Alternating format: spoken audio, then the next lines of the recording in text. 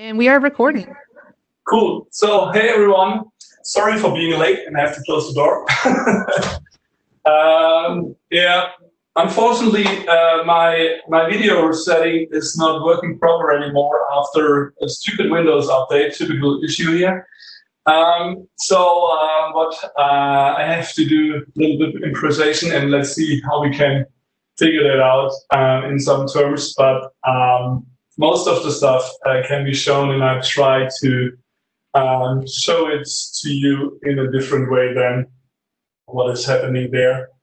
Um, so maybe what I can do is um, I will try in the meantime then uh, setting up some stuff while showing it. So first of all, um, welcome to the party. I bought some Red Bulls because we're doing party. Mm. Um, what we're going to do today is um, we will talk about any uh, nice tools and helpers that can make our life easier when it comes to programming or even in advance to program. Um, the first thing to start with um, is uh, I'm going to talk about Reaper and therefore we switch here. So uh, with Reaper, uh, we got a little nice audio editing suite uh, which is uh, free to use. Um, you can register it and buy it for a little money, but still um, you can use it for a very, very long time uh, for free. And I think it's worth the whatever $69 or something like that. Um, Reaper is not just useful when it comes to create audio or edit audio tracks or few audio tracks together with video. Reaper can do a lot of things directly for us when we program a show.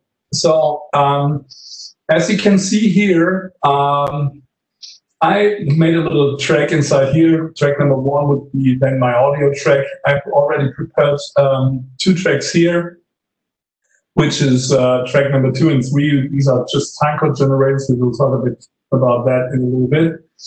Um, what we have here then is, um, what, what is very nice about Reaper is um, that Reaper has um, so-called markers, which we can set up here. And these markers you can set very easy. If the application is running, you just hit the M key, and then uh, these markers are done. So, um, and these markers can be shown then later on here in the view. Under view, you go to um, regional marker manager.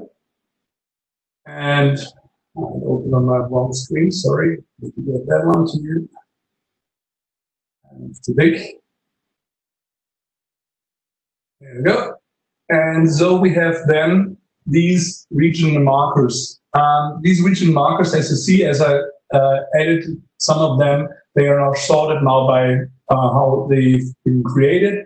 And um, I can, if I do um, right click inside here, and I can uh, renumber them in timeline order so that everything is directly in the timeline order the way it should be. Then my numbers, my markers are here exactly in the same naming, uh, in the same order. And I can put in names here. So maybe start, let's start with start, that's a guitar. And that could be my chorus one, and so on and so on. So, and with all these things that uh, doing here, um, this is quite nice because if I have an audio track up in here, uh, it shows me uh, the waveform and I then can edit those cues very, very exact by dragging and dropping them exactly where I want them. Uh, so if I have a special hit somewhere, I can directly put that marker there. So once done with those, um, what I can do then is um, I can go again here um, and go export regional markers. So with that export option for regional markers, um, the console um, creates a file. I name it just high-end systems tutorial. It's always named by the name of the Reaper file. Um, it directly creates a CSV file, and I just save that to my desktop. And then from my desktop, which is now totally safe on the other side probably, open up another window from here uh, from my desktop. And they have this region markers file, which I then can drag and drop to some drive. Plug that in.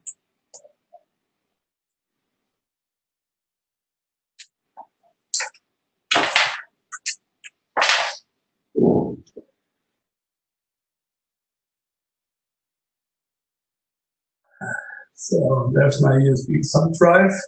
I just take that CSV file, copy it over there on my iPhone, and I then have it here somewhere, high systems, whatever, uh, markers CSV.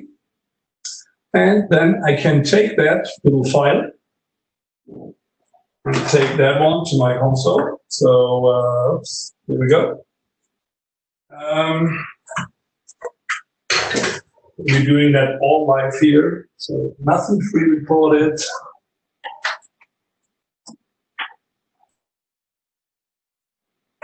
So, and then let's swap to the camera here. So, and then when we go to the um, our list window, which we have here. Can you see that?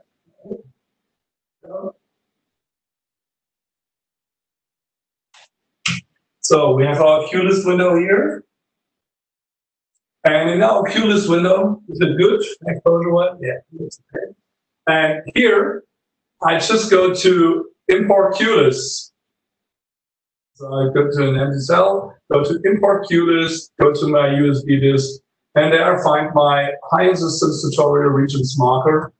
I select that file, um, operation is completed, and it directly gave me here this new list where you can see it's imported.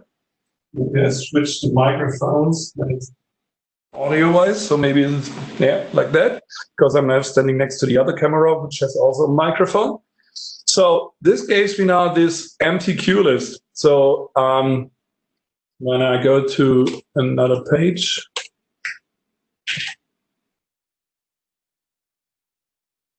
right here, and I say list 15 move down there. List 15 move here. So what we can get there then, so just the camera off to show it. So we then get here now this list 15. And this list 15 is exactly what I did before. So as you can see, it has taken all the timings um, which I put in. Uh, hello, screw. Yep. It has taken all the timings which we have inside there. Um, it has taken all the namings and so on and so on. So this is a very, very fast and easy way um, to create my time coded cue list. So without the need to do uh, any special uh, learn function or whatever. So I can put in my cues very, very accurate. I can already give them names. And so I have now my fully structured cue list and I just only need to fill that cue list uh, with informations. Um, what else can we do to create those cue lists or to create cue lists in, a, in that way? Is um, another thing is we can go um, via unfortunately only for the um, Windows users.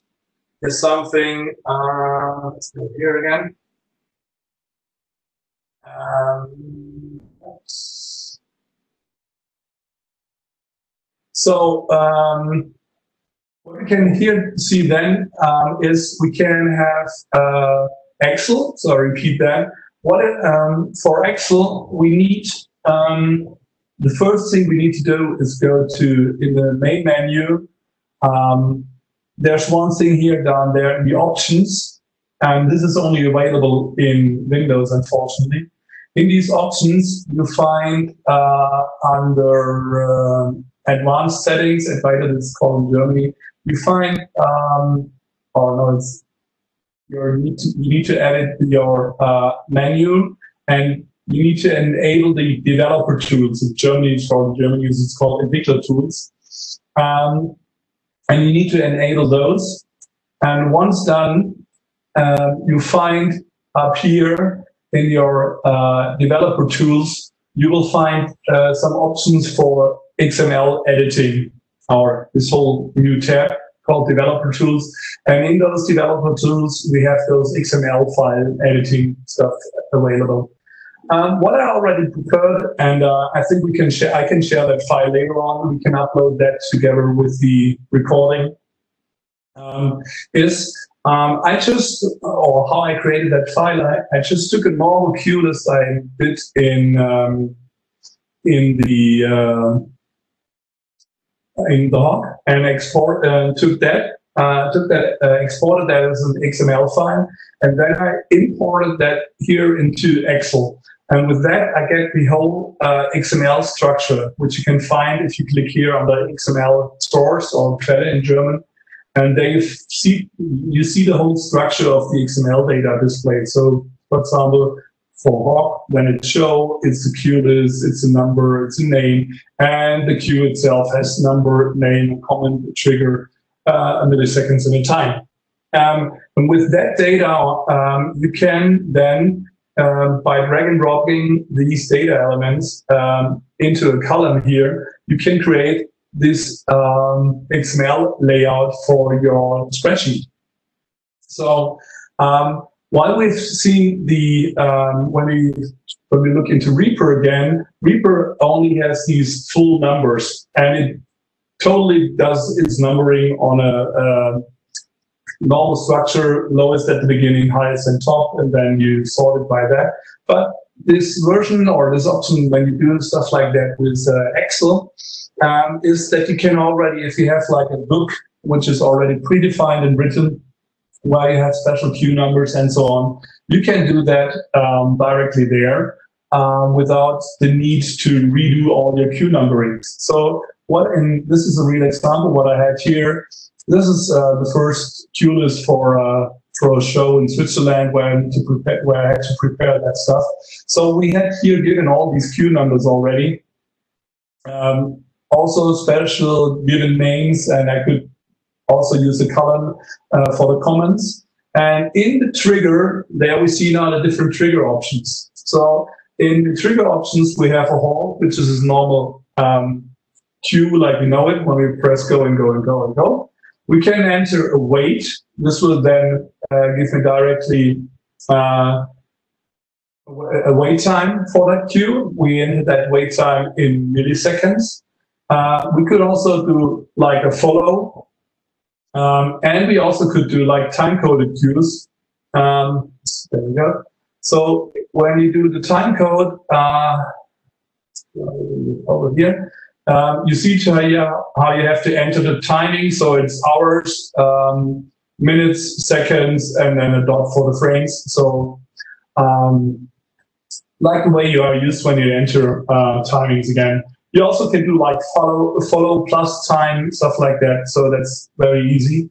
Um, and so you can easily use your own uh, Excel sheets and create cue out of those Excel sheets directly without the need um, to do or redo these whole things. Um, because very often we have already a director who has done that work and already prepared that stuff. So um, it's not necessary a must that you need to do, redo that. Uh, once done, when you all have done that, um, you just go to export. Um, export that XML data, just ask me where I want to store it. Uh, give me a name, so I make that my test list.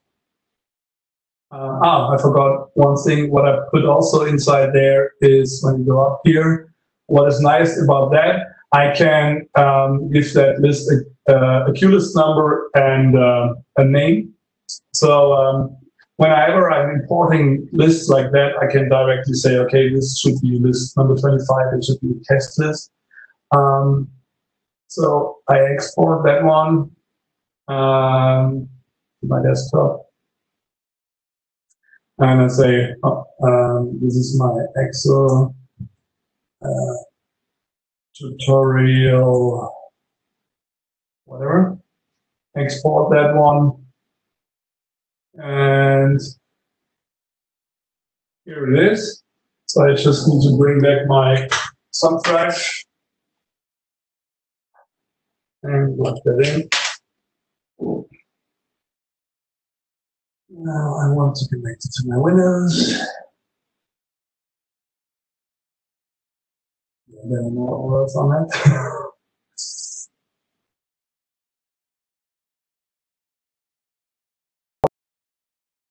and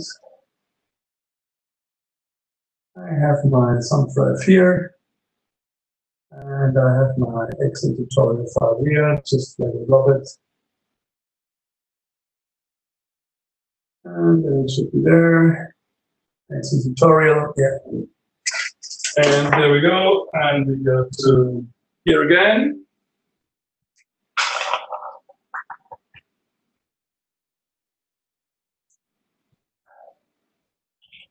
So same game. Um, we go to uh, our Cuelist window.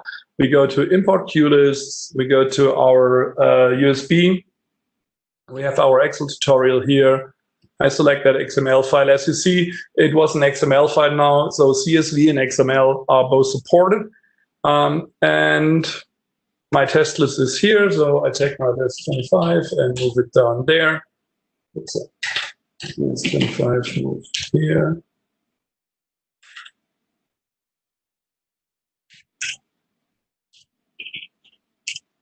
So, and then let's take it away. And there we go.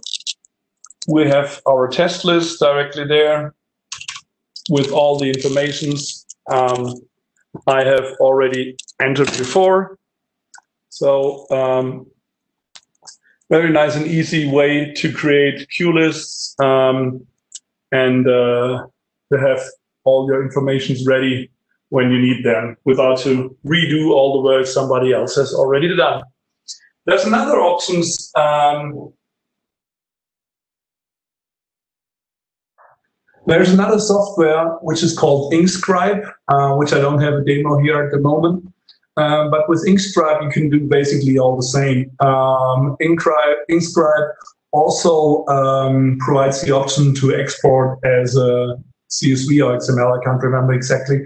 And these Inkscribe files can also be directly um, be taken the console and the console can directly read it and it creates a cue list in the same way like we did right now with uh, Excel or Reaper. So um, that was a little bit like um, how to use um, or how to create cue lists with Excel and Reaper and to prepare stuff. Um, so um, let's go back to Reaper.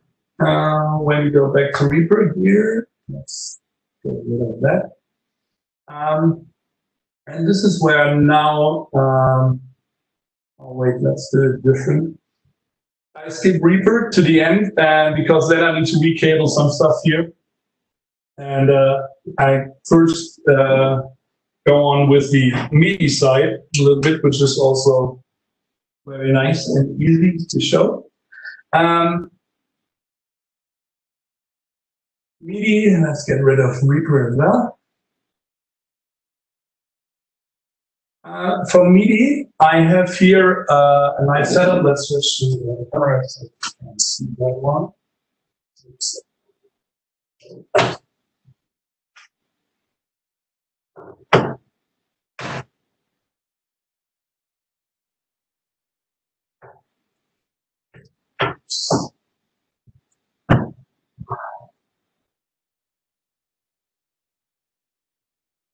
Take my hand, it's better.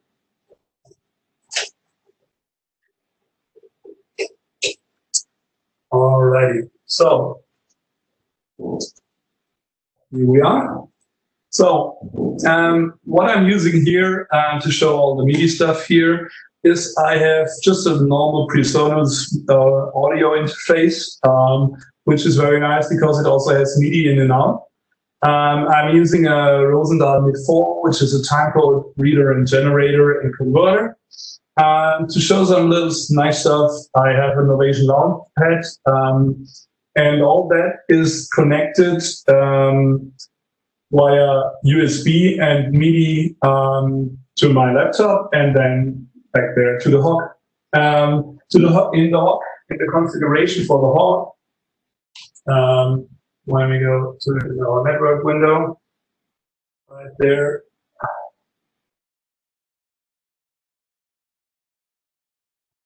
I only use one MIDI input. I only use the internal MIDI uh, configuration, uh, the internal MIDI um, device for uh, LTC and MIDI. Um, so this is um, MIDI channel. This stuff not assigned yet, but also for MIDI timecode, um, I use the same um, hardware. So there's no routings done there. So this is all what I show right now is all done um, via the software here. Uh, what is very nice, uh, the software is called MIDI Pipe. Um, it's a shareware. And with that software, we can, you can do very, very crazy MIDI routings and all kind of stuff. So that's one thing you should really have on your computer if you work with MIDI. And what also I recommend all the time is that you have like a MIDI viewer here. Um, this is just a also shareware MIDI monitor, which shows all kind of MIDI stuff. Um, why is that not working?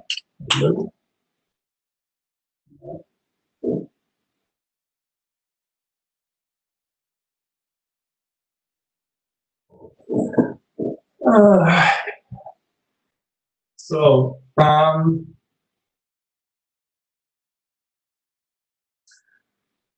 about MIDI. Um, what, where can MIDI help us? Um, MIDI can help us in a lot of ways when we want to expand and um, yeah, because our or even get triggers from someone else or expand our hardware also because sometimes we're running out of buttons we're running out of uh, faders and stuff like that and, with, and then it comes at that point where MIDI um, it's very handy. Another point where we can use MIDI is when it comes to timecode stuff or automation.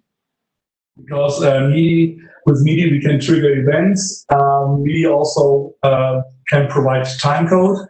And this is then very, very useful in terms of automation. Or if you want, if we want to trigger someone else. So because MIDI is like a bit universal language which video equipment talks, uh, audio equipment talks, also MIDI, and so we can have a lot of uh, other stuff uh, trigger our console or let our console trigger MIDI. And this is then where stuff like the uh, subtle MIDI, uh, the Subtlesoft MIDI pipe gets handy because, um, as we know, at the moment still, I'm actually saying at the moment because uh, the whole MIDI stuff is newer, um, uh, all our keys are hard mapped. So each button or hardware button or hardware fader on the console has a dedicated value which you can find in the manual. So if you need to have special triggers or special buttons triggers, um, there's a way you can do it via those comment macros in MIDI note input. So you can define, okay, I'm sending that MIDI note input, and then you define the comment macro. Uh, show that in a second.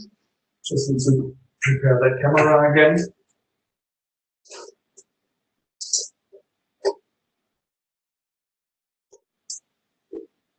So um, that's one option.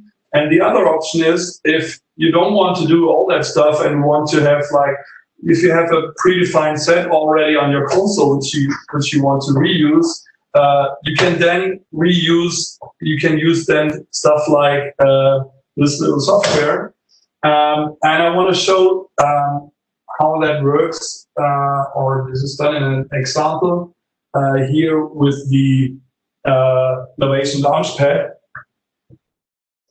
Um, so just let's see if the Launchpad not small enough again. No, it's not really working.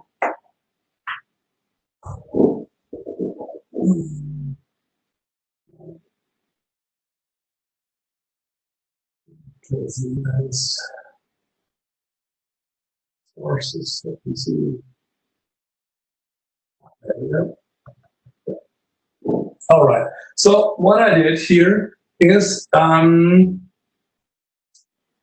I'm sending some uh, MIDI data uh, from and to uh, the Novation Launchpad. And I just need to adjust the camera to the Launchpad so you can see later on what's going on.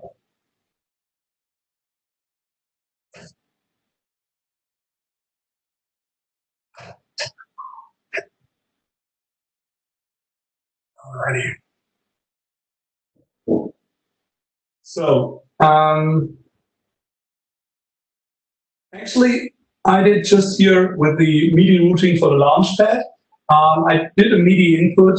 Uh, I did several stuffs here, which you can see under pipes. These is all the stuff which you, which I prepare. Um, so um, the the MIDI pipe is actually just a translation program. So you can send in any data, filter data, send it out, or whatever. So um, it also gives you almost unlimited usage of uh, MIDI data controlling and this is very, very nice. And I will show you uh, here an example for the Novation Launchpad and also then also later on for the MIF4. So um, what I did here is um, I did a Launchpad color pipe. Um, this MIDI input just selects my audio box USB input, um, which is connected by USB to my laptop and it gets MIDI from the console, from MIDI out from the console into the MIDI in uh, of that audio box. And so I can read those informations here.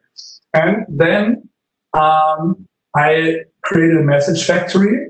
Uh, this message factory listens to uh, a MIDI note that's Z0, that's note number one or zero, depending on how you count it. If you count from zero to 127 or one to 128 because that's how many MIDI uh, notes we have because MIDI is just 7 bit. Uh, so that's my trigger uh, on any velocity. Um, and the message I created here is a 9-bit uh, sysex message. So don't worry about that. This is stuff you can then find in the Launchpad information or what you need to know when you want to trigger stuff. Um, but I, what I want to show you how you can easily create um, just from a note output, which you where we have a very very nice and easy workflow to do in the console, uh, how we can create that um, uh, that trigger here for and that trigger actually calls a sysex um, command, which lights up all those buttons on the uh, on the launch pad. So what I did is um, I need more cameras next time. So um, what I did is um, when I switch the camera, here we go. Um, so when we go into our um, MIDI notes windows, can you see the light? It's too bright, I guess.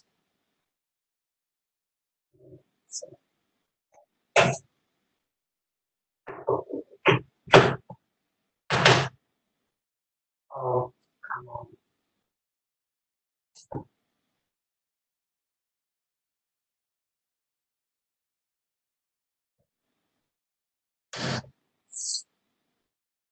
Still doable. So um, what you can see here on that MIDI notes window, yeah, um, I said, okay, I put my init launchpad um, on note zero, channel one, it should be on, and it should be a velocity of uh, one, which is fine, which means a note on. Um, and I created this MIDI note macro. So uh, with this MIDI note macro, second a second, take the camera in my hand, it makes life easier for me. So I put that one into just a cue list here. I have two uh, cues inside here. Um, and this is just empty cues here with nothing inside. It's just triggering that stuff here. So I'm sending out actually when I trigger that cue list, uh, I can see it together. Let's see. Yeah, there you see. Let's take that away. There you can see the launch pad. And when I trigger that cue here, here we go. Yay, all green. So um, with that cue, I can then uh, run that command, this very long sysex command from the um, uh, from my uh, with a single note which I can easily understand. So if there's someone can help me out, um, who knows a little bit more in, in media and so on, he can do, he or she can do that stuff for me. Um, with that going on, I can then also create um, Cuelist, which is, or a cue, which just lights up then, as you can see here, one row in um, white and one button in blue. Um, each of those, each of these buttons on the Novation Launchpad uh, can be controlled by a MIDI note. Um, so um, we can define for each of those 64 buttons a normal MIDI note out there in our MIDI note window here. So open, again. So open MIDI notes. So I could define here like 64 buttons and uh, with a um, trigger each of these buttons, you will find all the information, which note it is uh, in the manual of the Novation Launchpad.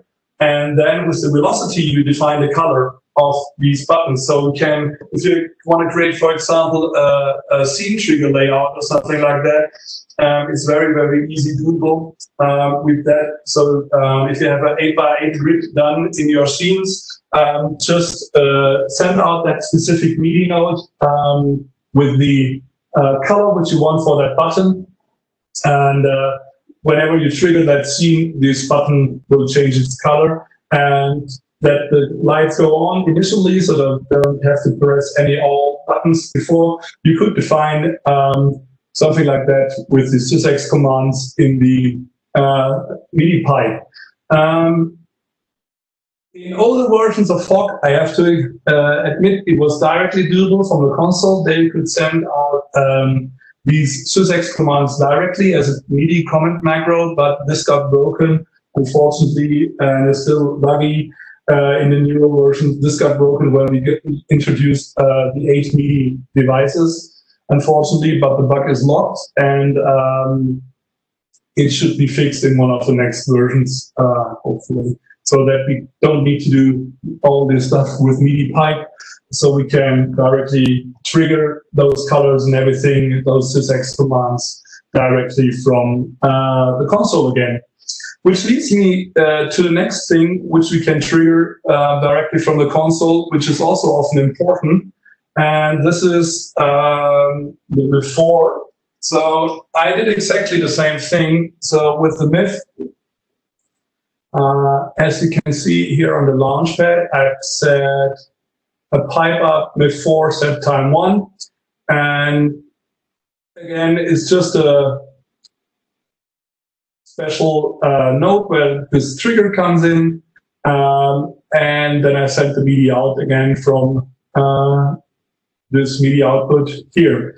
Then this MIDI out goes um, to the console, and from the MIDI out of the console, uh, from the MIDI out of the console, from the through, it goes here into that MIF4. So that all these devices get the same MIDI data. Um, well, I can use that right now because, like said, um, the MIF4 is not just uh, a timecode interface which can translate LTC into MTC or vice versa. Uh, which can, by the way, also be used directly as an LTC input on any Road Hog or Hedgehog which doesn't have um, LTC inputs. So you can connect the MIF4 as an LTC or as a MIDI input, and then um, the uh, via USB. The console then recognizes the MIF4 as a generic MIDI device, and uh, when you send in LTC uh, the console takes that LTC and uh, uh, the MIF4 takes that LTC, converts it into MIDI, and then the console can read that timecode as a MIDI timecode. Also, a very uh, nice and um, cool usage of the MIF4 when you want to input uh, timecode into your console. Um, what, what, what, back to the trigger stuff, what we had. Uh, with triggering um, these stuff there, um, you do it exactly the same way when we go back to our my MIDI pipe. I just created that message factory here inside that message. This is the whole thing. And um, I can show you that message here again when it's triggered. Uh, so I go here to the console, switch the. So on the camera here, I have a cue list done, which sets two time codes. Here we go. So these are just um, macros I created in my MIDI note macro. Um, these MIDI notes again then trigger uh, the MIDI pipe. And when I trigger, let's see if you can see that here. So now as you can see the clicking, uh, can we do that again?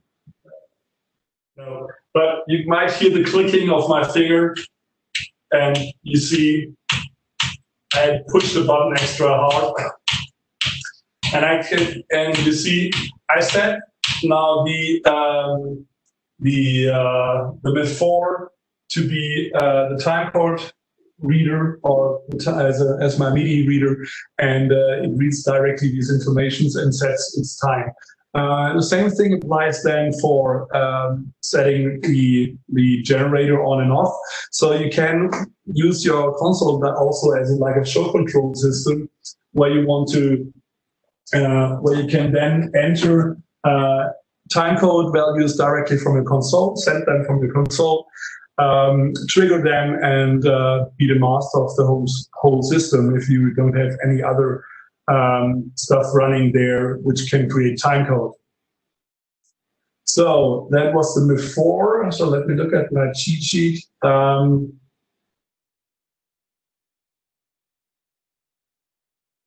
uh, it's MIDI notes in and output. With MIDI notes input, um, because that's also a question quite often asked, um, is uh, how we can trigger stuff via MIDI. Um, guess you all did that before. You just go in the console into the settings, and then you have the MIDI note input, and then you can assign per channel uh, what each channel should do. You can assign the different types of keys there. You can assign playback bars.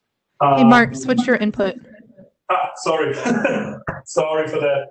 So I go back. Too much to do for one person. I need an assistant.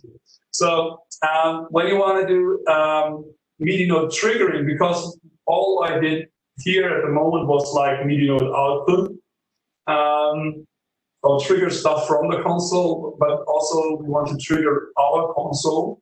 And to trigger our console, this also can be done in several ways. One way is again via MIDI. You go just there in the console settings, go to settings, then you go to the MIDI note input, and there you assign what you want to have triggered by uh, MIDI. So what most or a lot of people do is use tend to use comment macros because then in comment macros, here's a little setup. So you have all the 128 MIDI notes here.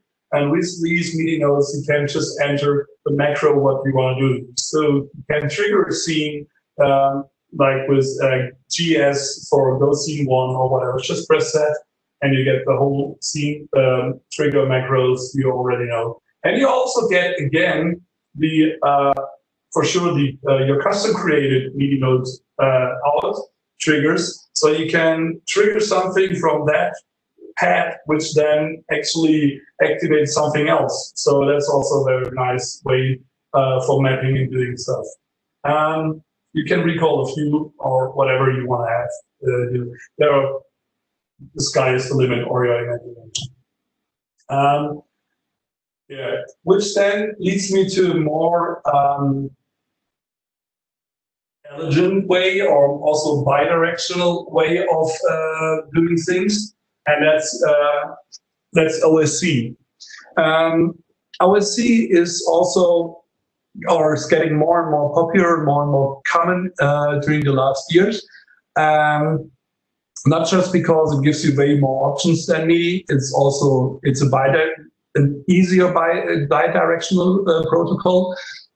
It's very very much faster. It works uh, via network. Um, so you can you can distribute it uh, over long distance, while MIDI is limited to three to five meters. There are also options to transport MIDI um, via uh, RTP MIDI, so via network, which is directly inbuilt into um, Apple, for example, or with KISS boxes or something like that. But in general, MIDI is just set to work with lengths up to five meters. So um, OSC is also quite often asked um, how OSC is um, set up and how it can be done, and uh, how do I need to set up my um, my router or my Wi-Fi station or whatever. Um, and that's what I want to show you right now. So uh, in my case here, um, I took a very, very old uh, Airport Express space station, which I had left over. And um, with the uh, configuration program, I always tend to use stuff like that in um, in a manual configuration. Um, same with when I uh, configure my networking and all that stuff. Um, I prefer to have everything done uh, with manual IP addresses because I know exactly which device is missing or not working or whatever. Um, so for the HogNet here, um, I went into the settings for the HogNet and I set that uh, Gateshead Airport Express a name and I set it to a manual IP address, which is uh, 172.31.31.32. Um, as you know, typical HogNet IP address um,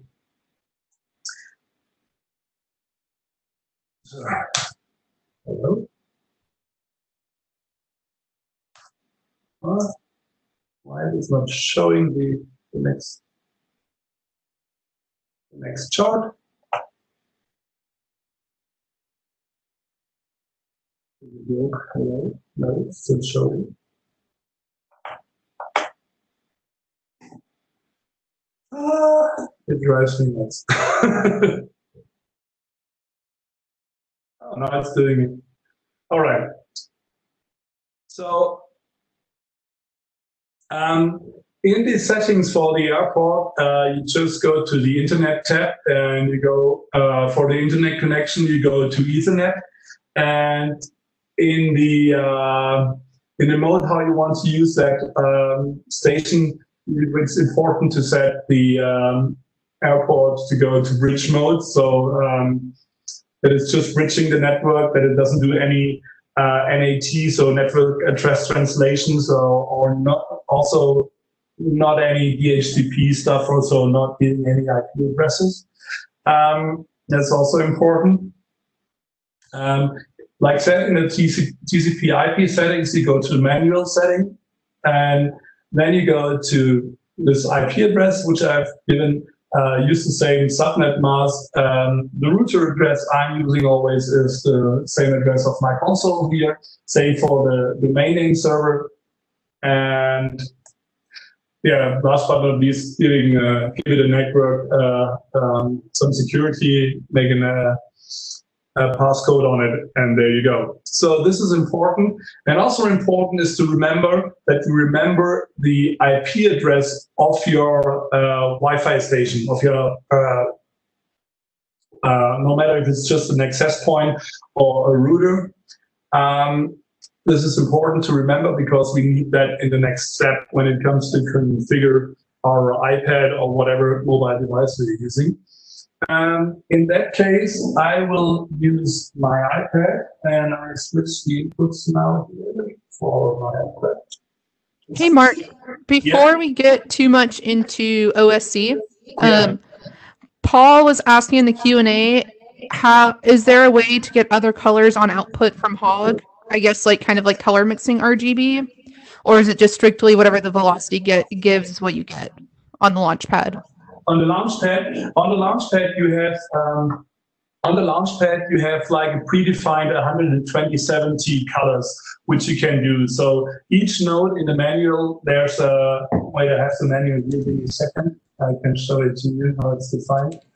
Um, And those are defined via the velocity, right, on the note? Yes, on the velocity. Yes, you you send uh, you send the same MIDI note out with a velocity, um, like the like the button has. Right, um, I have it here. One second, and I show it to you.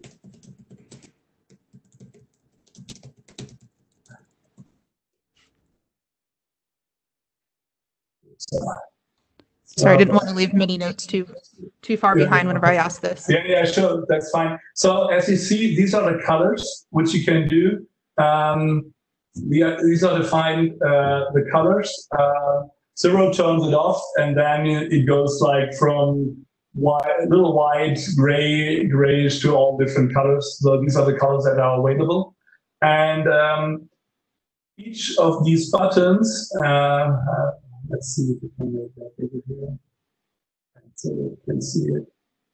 So this is the um, each of these buttons on the launchpad. That's a 51 hex uh, code, and that's a the decimal code, and there you find the the note itself. Um, but in the in the Hog, we need to have this number, so it's 81. So you need to send out a note 81, and that's actually what I did. When you which or in that case 11 i can show to make that blue. Um, i just you just send out the note 11 um, in that specific uh, value. And when i go here i can show it to you. Um,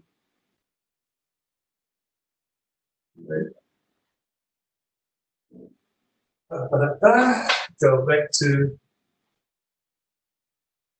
notes So let's switch that camera. As you can see here, that's my Note 11, yeah, and I have my velocity 45, and that gives me that blue. If I change that velocity now to something else, if I change that to whatever 67, and trigger that, uh, I want it. Nope. Yeah. There you see it define- it defines to another color. So these are with the color here and that combination done together, you get the um, get the uh, you can define the color of the button. So when you have a look here again, so this is the this is the button number. Uh, so so the note number in a decimal way. So it goes from 11 to 80 to 19 from the bottom row. So very easy to remember. It starts with 11, and the top one is uh, starts with the 80s and goes to 89. Uh, the very top row is done, especially these are with control changes. Um, so, and uh, yeah, with that, you again can say, uh, it comes down a little bit more, top left, and then it's just select the note and with the velocity, um, so 81 with a velocity of 45 gives you then that blue because 45, if you look here, uh, somewhere in there, this blue.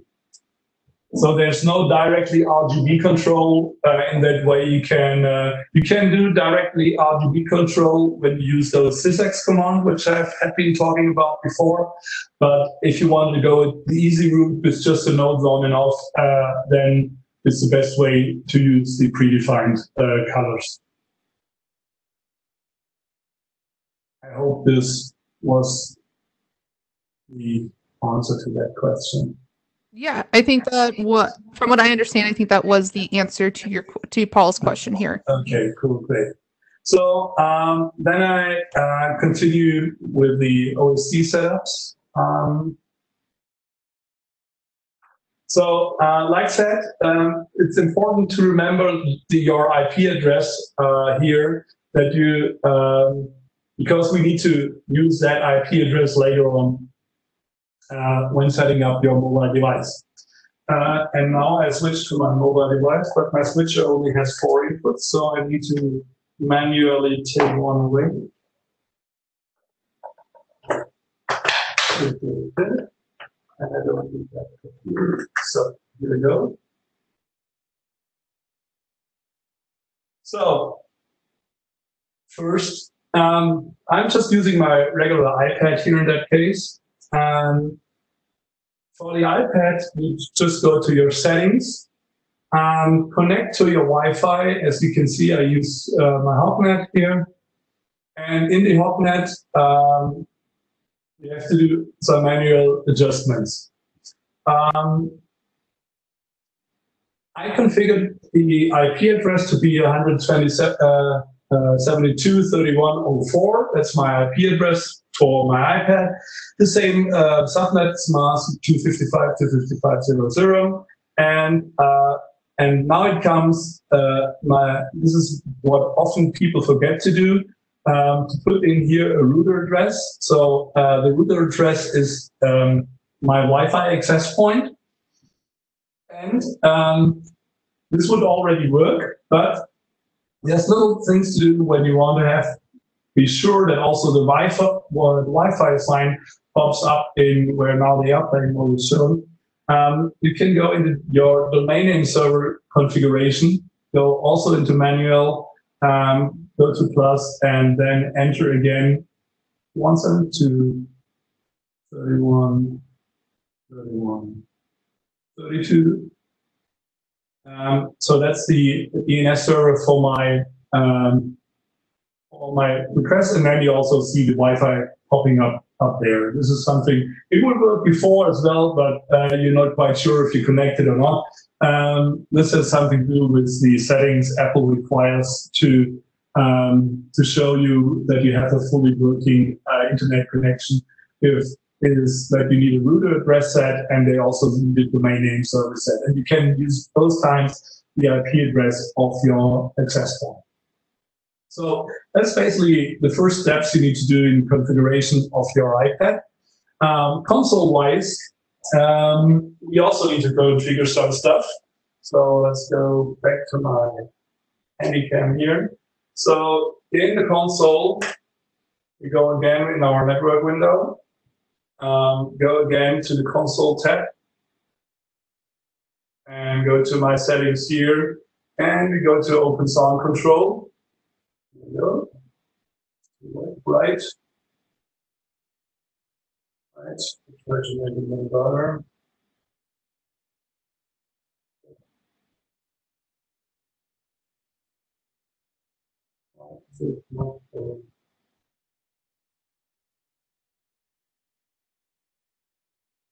I guess that's yes.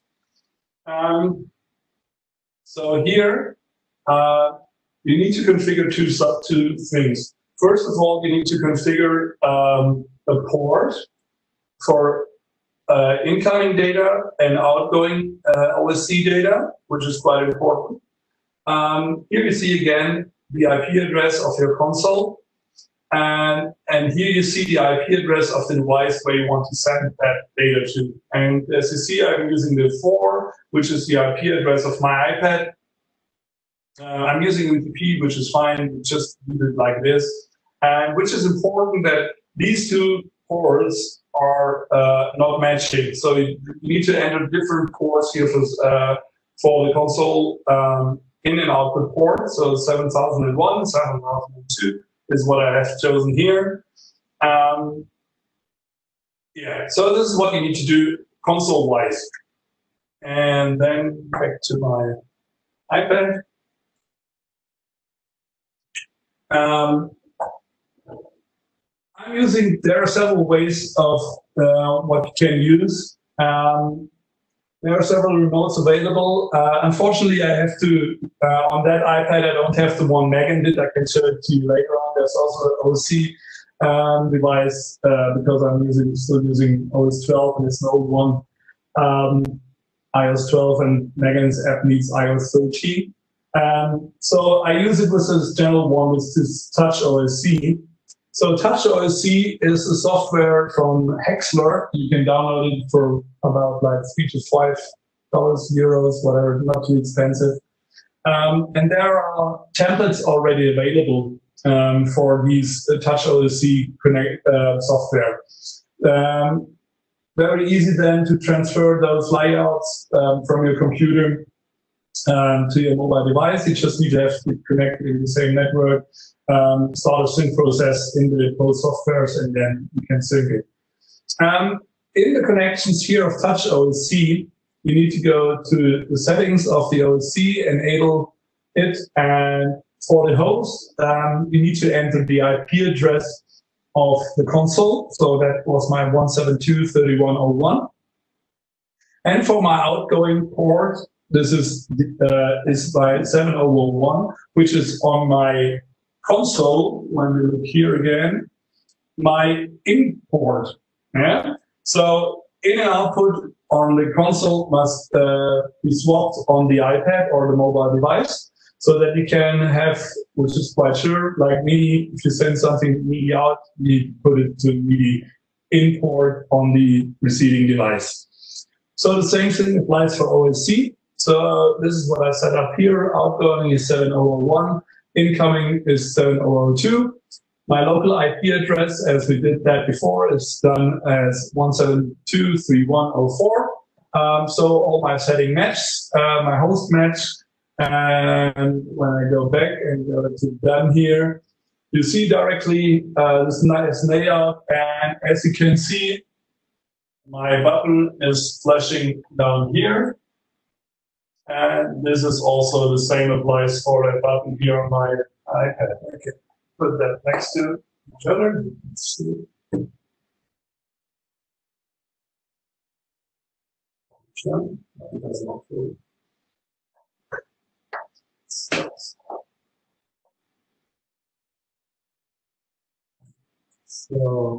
here we go. As you can see, um, the state of the console and so on is all the same. When I'm now moving that fader here, the fader of the console moves as well. So here we go. Direct feedback here. Um, when I'm flashing that button, where something on it. Here we go. Here I have a flash button. I have feedback on all of that. And I have, can use that as another device to control my console. You can select stuff. Uh, same thing in the programming section. I type something here in my command line,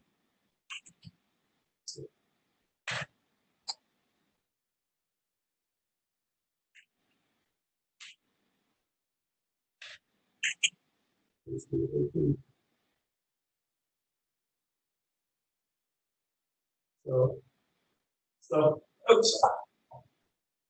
Too much stuff happened at the same time. so,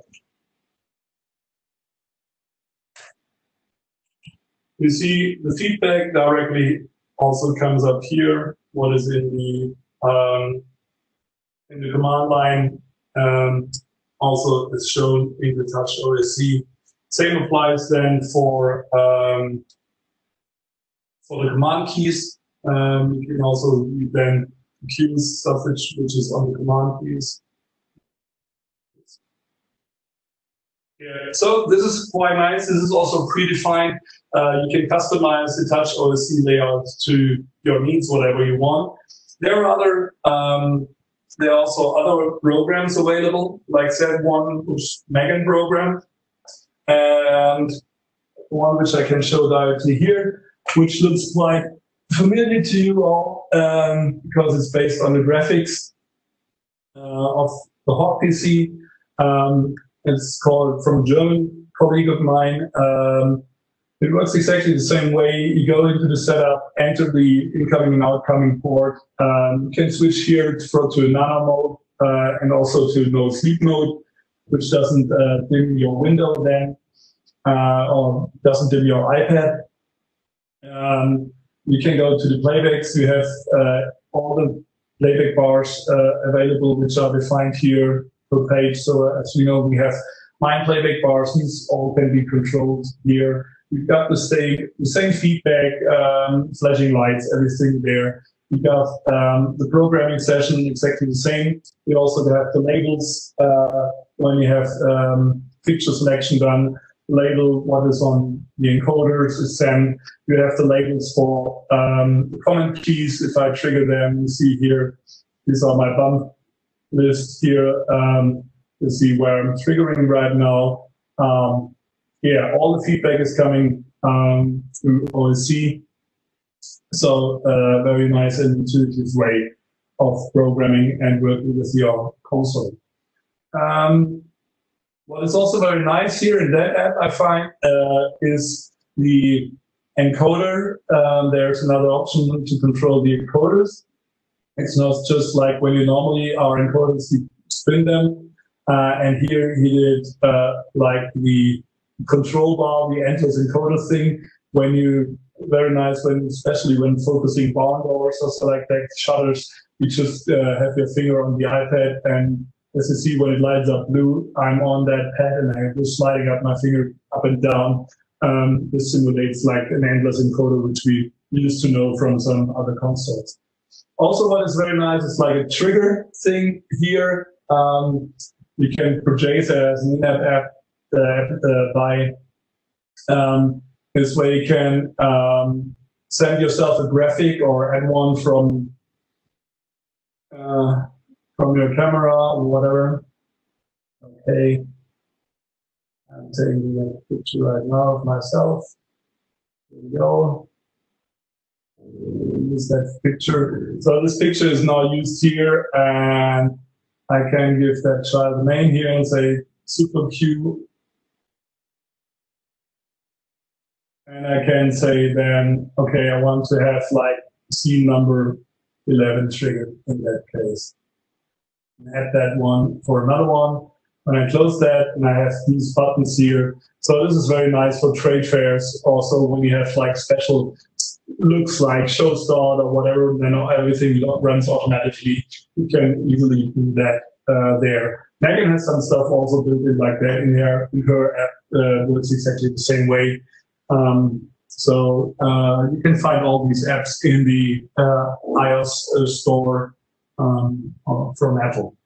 So um, before I want to continue with the next thing, uh, I want to ask you if you have any other questions regarding OSC and MIDI, uh, OSC and iPad.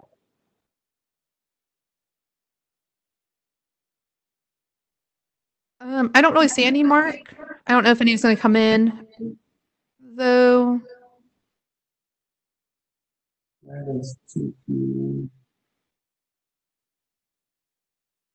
Susan? Yeah, I don't know if anyone's type. Um, is there a MIDI pipe for PC to use? Um, MIDI pipe, MIDI pipe for PC. Uh, yeah, there is one, but I can't remember the name. but I can. Oh. I will, let me let me do it like that. I will um, when we upload that video into the study hall. I will make a, a, a PDF with a, a list of helpful links for softwares for Mac and PC. Um, so uh, that you can have all these informations also available for the PC users. All right. So um, the last bit um, where I want a little bit of patience from you because I need to rearrange all that stuff that which was actually on my um, on my Mac and and I wanted to stream via the PC and that didn't work, so I have to switch. So now I have to change everything which I wanted to show there on the Mac on the PC. Um, this will take a second. That's okay. I'll answer this question about GDTF. Yeah, Um, we Hog does not support GDTF right now. It is something that's being discussed, but there's no timeline on it. Um, it- it's something that's being discussed. It's something that's being worked on. We just answered this question yesterday, um, in the fixture building question, but there is nothing right now that we can say about GDTF and Hog.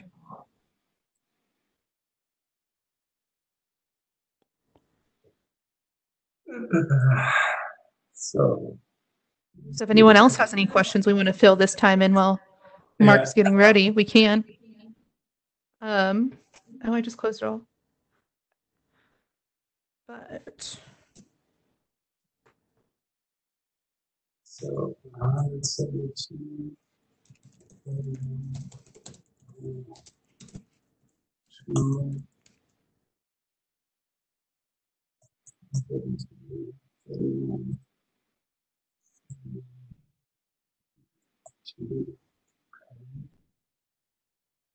So let's see if at least this is already working. And I know Mark mentioned um, iOS apps. Unfortunately, I don't know any Android apps for you, for you guys besides Touch OSC. Um, the templates that we have online say that they work for high that they work for iPhone and iPad. That's just the device like size that we made them for. They will work with the Android phones, is what I've been told. Um, I don't know anyone who's developed a hog specific app for Android though. I know that is something that a lot of people ask. We I just don't have any answers. I'm almost done. I just need to find one cable and then I'm ready again. No problem. it seems to work. So this one uh, here, let me check that. So uh, here we go. So um, when we're talking about OSC, here we go. Uh, yeah. Um, with OSC, uh, we can even do even more stuff, and it's not just like the iOS or iPad app and stuff like that, or um, the app that uh, color programs. Um, what I want to show you right now, as you can already see there up there uh, with the browser window up here, is a nice little software called BitFocus Companion. It's also shareware and uh, which I think these people need to be supported. So whenever I do production with them or with their gear, I give them a little donation afterwards. Um, this little piece of software can control this nice buddy over here. So a lot of people uh, from you know that or might know that already. Uh, Stream Deck uh, from Elgato. Um, this is just a, that's the XL version here. They're available in three versions, one with uh, six buttons, one with uh, 15 buttons, and here the large one uh, with 32 buttons. Um, so what is very nice about that software is you can um, directly control that uh, software, and this software, this companion software, has also um, presets for Hog already inside. So when you start the um, when you start the uh, the companion app, um, ah, I forgot to show you how, what, what I'm doing because I'm not running Companion here on my computer. Um, I'm running Companion actually here on a Raspberry Pi uh, 4. Uh, that's the newest version of the Raspberry Pi. Um, it's running headless. There's a build available for that one, so you don't need any monitor or nothing at all. Just connects uh, via network. So I have only network connected here uh, and my USB to my Stream Deck and that's it.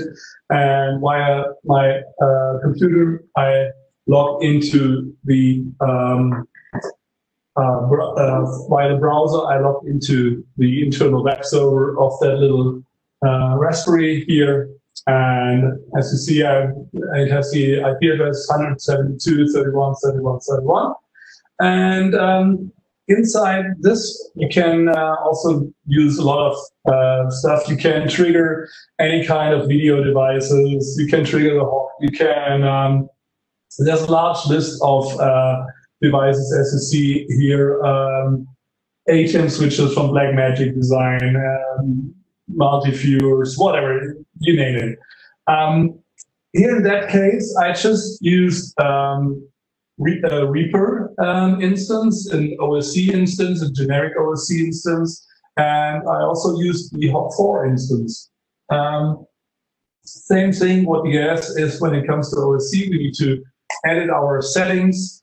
Uh, in that case, again, uh, my IP address, my port, um, where I'm sending the data to. Um, uh, you can even use multiple consoles. So if you have multiple consoles where you want to send it, just another instance, name it here, uh, Hog4 number 15 or stage 12 or whatever you need it. And then you can have, when it comes to editing your buttons later on, you can choose which one you want to use. Um, which leads me to directly to what you can do with it. So um, Here, I created one page, for example, uh, for my colors. So um, let's go back here. So as you can see here, that's my color page. When I click that one, I have these uh, colors here available. And these colors are then triggering scenes on my console. And we can show that if I go to my scenes window here, and I take that stream deck with me. Um,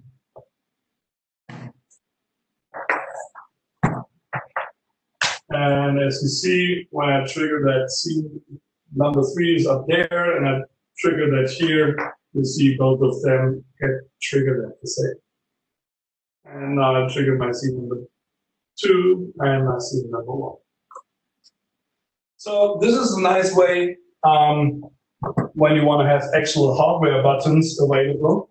And the good thing about all that things together is, um, as you have seen, um, I created um, a layout which has um, pages here for colors, so I can have like um, 24 colors available. I made myself a page um, for my beams. Um, I made myself a page for positions, uh, for my effects, and so on.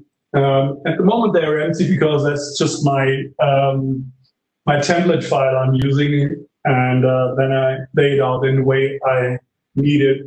What I also do is I have a control uh, layout here, and in that control layout, as you see, I have a button which changes just the page then um, to the playback bar page here. And I'm going to do that in real life and show it to you. So what we're going to have here, I change to that control button. I go to the playback bar up here.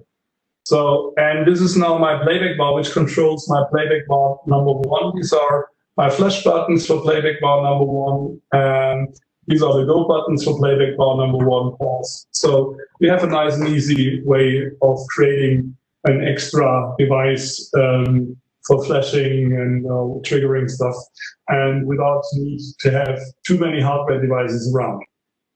So that's on my command. Here I have some macros, same thing um, it triggers the macro there. So just if I hit that macro, the macro 11 is triggered. You can label all this stuff.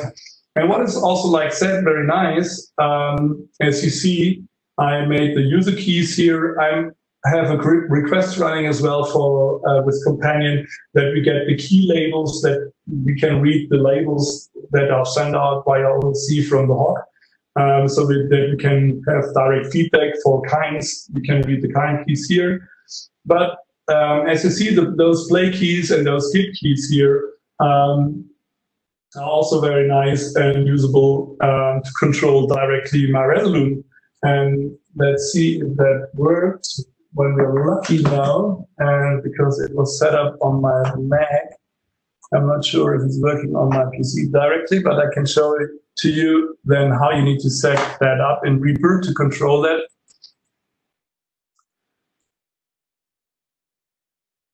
So, yeah.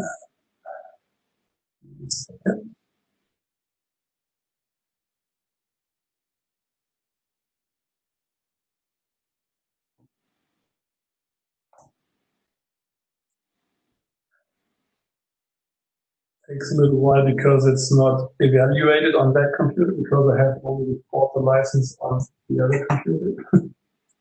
so to have Reaper working via uh, MIDI, you need to set up some stuff, or via OSC, you need to set up some stuff, and which then leads me also then back to show you later how um, you can use timecode from Reaper.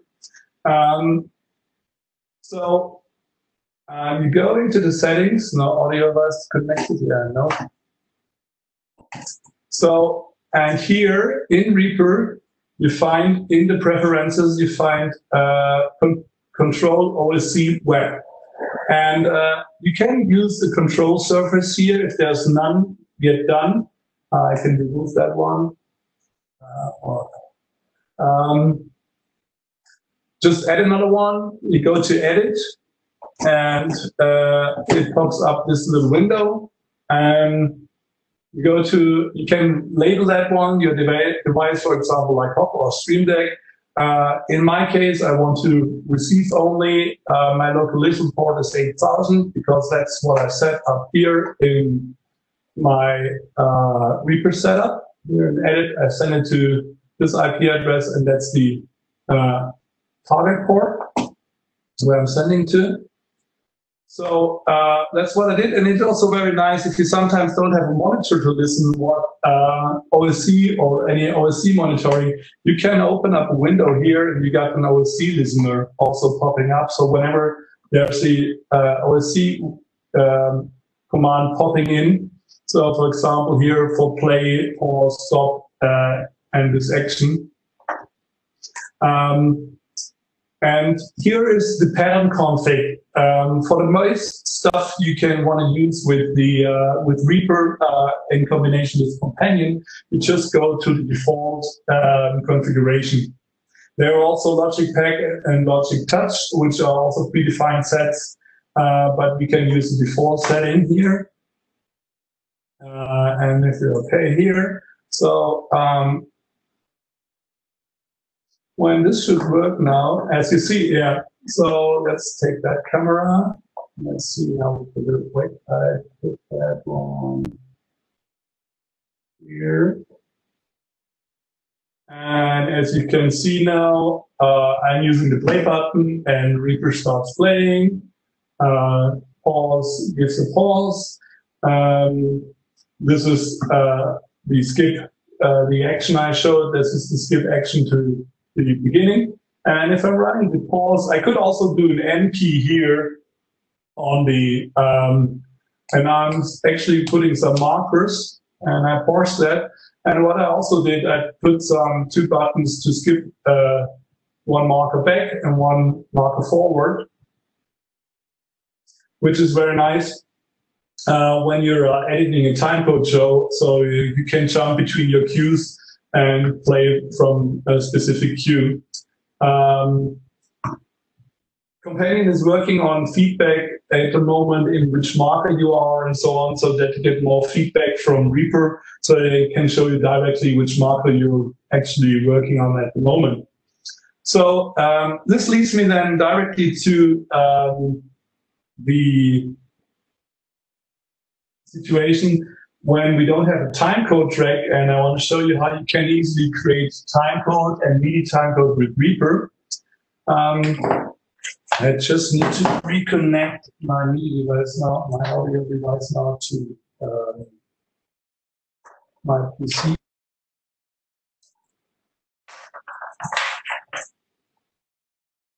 Da, da, da.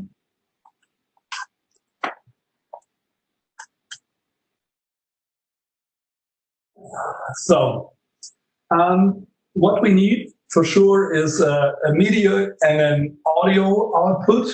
Um,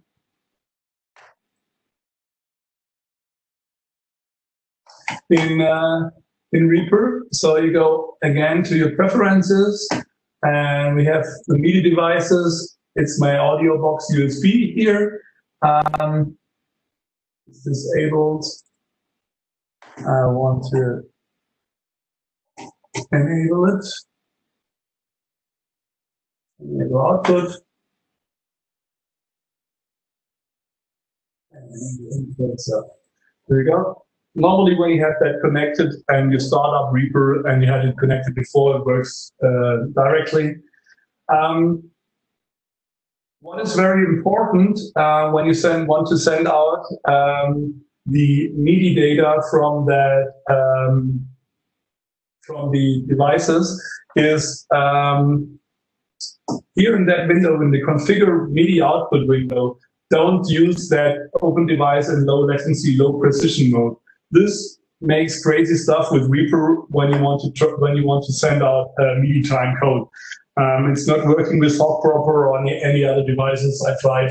Um, seems like to be a bug in Reaper. Maybe it's just that um, version, but uh, whenever I have issues with that not working problem from Reaper, check that the uh, device is not into the low latency or low precision mode. That this checkbox is not checked. All right, so that's the one thing you need to do. Um, for audio um, device, you go up, uh, audio device, uh, audio system out, you can use Wi-Fi, yeah, that's fine. Or you can use any uh, audio driver, depending on your hardware, what you want to have it. Um, so that's all uh, depending on the uh, audio device you're using. Uh, in that case, I'm using the audio out here. Um, apply that, okay, close that.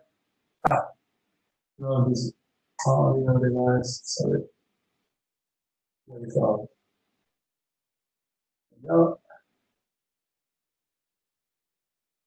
So um, then we need a new track. Uh, and this track um, could be then your audio file. You just drag and drop it inside here, and then you can play it.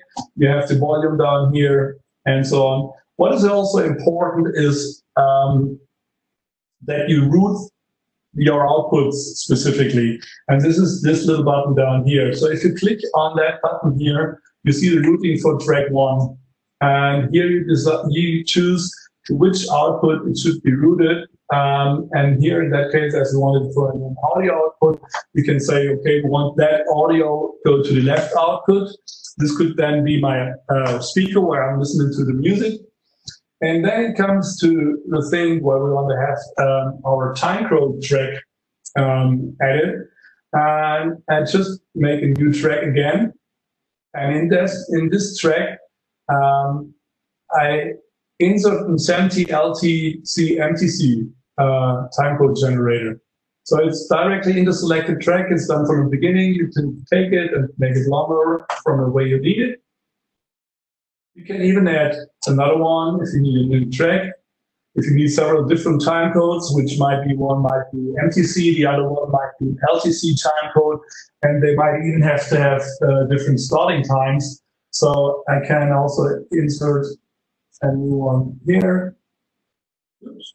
Doesn't do that. And it does. So as you see, you can drag that around if you don't need it from the very beginning or so on.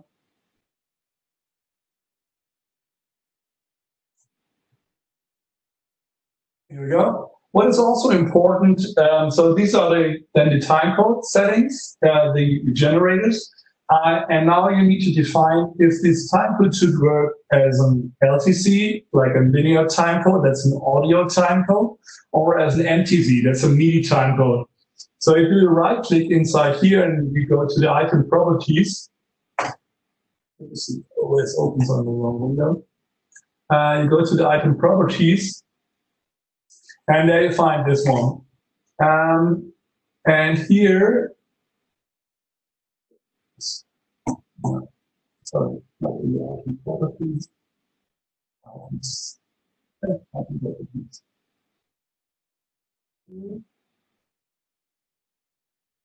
That's a bit different in Windows than than Mac. Uh, yeah, there we go. No, this window is on the Mac. It's longer. Here it's wider. so you can you can name it. You can um, start, you can um, give um, the the start time where it should start. Uh, you have here, and then what is most important, you have here the properties of this. And when you enter these properties here, um, you define here the frame rate. So for the US, mostly you, you will use 30 or 2997 per frame. In Europe, we use mostly 25 frames. You also define if you want to send an LTC time code or a MIDI time code. In my case, for example, I want now a MIDI time code. I entered the start time where it should start, maybe at one hour. There we go. So, um, and then I can close these properties. So this time code will now be my MIDI time code. And in there, it's important that I also route my MIDI time code because a lot of people forget about that. So also this track needs to be sent somewhere. And you click here, we got the routing file track two. and I have a new MIDI output, hardware output. I take my um, output, audio box USB output. Uh, here we go as my output. Uh, close that, and when I go back here and I play that one, and then I can show it with the MIDI time with the MIF as a time code. This is now directly running from the um, track I've been playing here. So when I stop that, it stops. So this is very, when I go back, uh, let's jump back to the, to my beginning and then show that one as a picture, picture here. And uh, I play the time code here. You see the time code is here played back from the time code or from LTC, from MIDI in that case, that was the one with one hour. And I'm also outputting from the back, as you can see here. Uh, the output goes here in the input of the before, the, the LTC. Uh, here we go. Um, so I can show you these two different time, time codes here in the front. So the first one is the LTC, which is that track, um, the lower track down here. Um, and the upper one is the, uh, the MIDI time code, make them a little bit longer. So we jump around, jump around. So I go back to the beginning install that. So we have here now our LTC time code coming out as audio. And we have here our MIDI time code coming out as MIDI. So um, also nothing really uh, new or uh, any magic behind it. It's just the way you need to how you can use it and how you can or how you need to configure um, these bits and pieces. Um, yeah, so um, this is uh, when looking at my stuff because we also are already running out of time a little bit.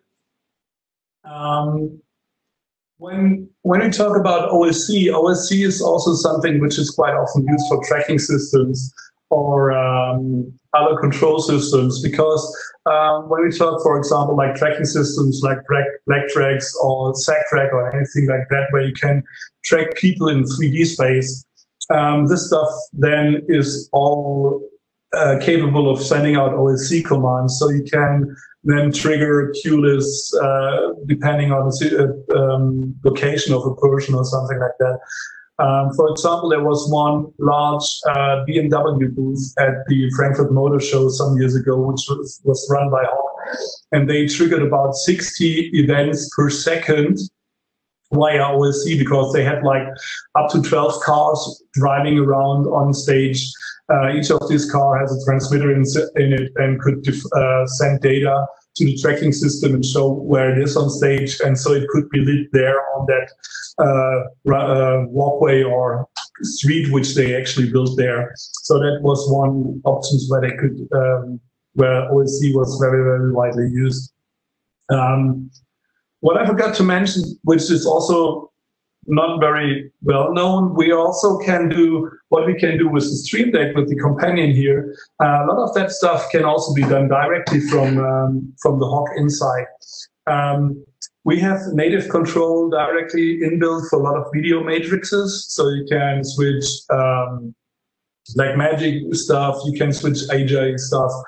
Um, so you only need to connect it in the same uh, network as the FictionNet, uh, patch it there, um, add an IP address. It works a bit in the same way like uh, media patching uh, when you um, CI for CITP layers. So you can then directly also con can control uh, video gear directly from the Hog without the need um, to have that Stream Deck running. What is also nice, if you don't have it, Stream Deck is capable of receiving ArtNet. So you can um, define an ArtNet trigger and send just a, a, value on a specific channel to trigger a button here in um, in a Stream Deck. So you can have very complex setups also done uh, via ArtNet and in combination with Companion with Stream Deck. All right, have a look at my uh, little cheat sheet list. Um,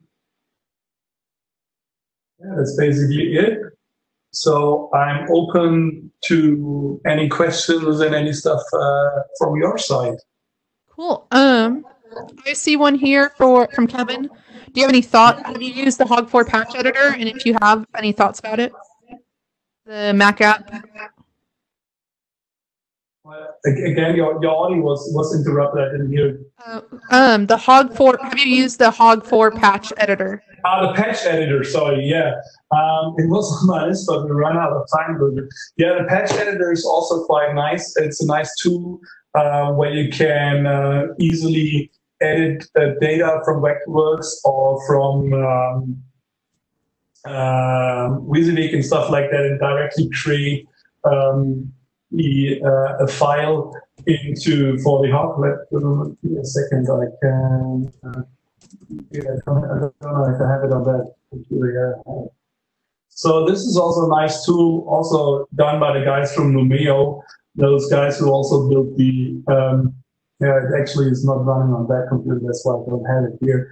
Um, that's a, a, very nice tool where you can um, load a, a, patch file, an empty file. You just define your um, your fixtures you have, uh, patch one of those, um, load this file into uh, this patch editor. Uh, in the patch editor, then um, take the data from the uh, Vectorworks or WYSIWYG file, and then you match the fixtures, and then um, all the patching information, all that stuff is done.